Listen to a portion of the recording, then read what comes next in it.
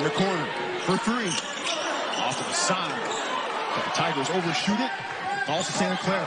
And they're on the run. Outside. Carlos Stewart. Spots up for three and hits. Boone with the bump. Nick Blake has it taken away. Uh, there's quick hands on the floor, and, Santa Clara's guards showing a lot of quickness as well, not just Pacific. We've, made a few steals. Both teams really tough defensively. And suddenly back-to-back turnovers for the Tigers. Over it all, but now they've a bit more prone in that category over the last couple. The execution of that two-man game, excellent job. Now they've got to get a stop and see if they can just, you know, get one or two more opportunities to, to dwindle this lead down. They don't want to go in the locker room down, uh, you know, with, with, more than uh, 10, 10 points. Final minute first half. Knapper gets a little space, bit too strong. Rebound by Tilly. Just a rebound, Martindale. Deflected. Stewart dumps it down.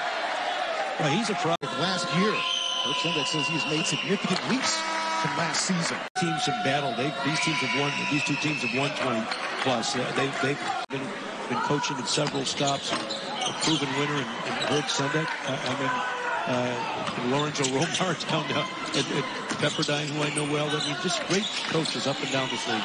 Blake hits one or two. Stewart hits from the Knapper off the side of the rim. Justice gets it back. Braun saves it.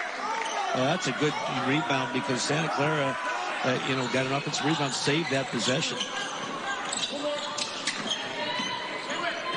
Justice has tried 13 shots tonight, 12 of them from beyond the arc.